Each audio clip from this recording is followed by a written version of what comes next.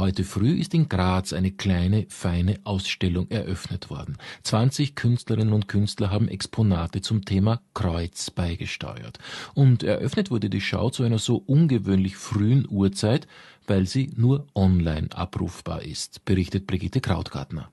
Gerald Bretschuh, Hermann Nitsch oder Matta Wagnes.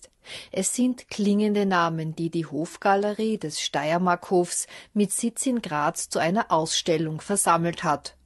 Unter dem Titel Wegkreuz wird einem weit über die Kirchenräume hinaus relevanten bildnerischen Thema nachgegangen und nachgespürt.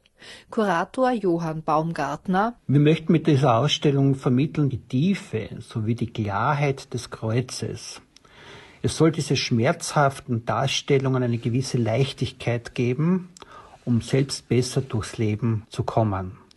Die Ausstellung soll uns möglicherweise auch an unseren eigenen Lebensweg erinnern. Sind doch Kreuzungen auch Situationen der Entscheidung für eine bestimmte Richtung und somit nicht selten Situationen der Krise. Wir möchten mit dieser Ausstellung alle Menschen in Österreich ansprechen, die jetzt zu Hause in ihren Wohnzimmern sitzen und großen Hunger auf Kunst und Kultur haben, auf das andere tägliche Brot zum Leben. Die virtuelle Schau Wegkreuz ist unter www.steiermarkhof.at zu sehen. Das war Religion aktuell Redaktion Martin Groß.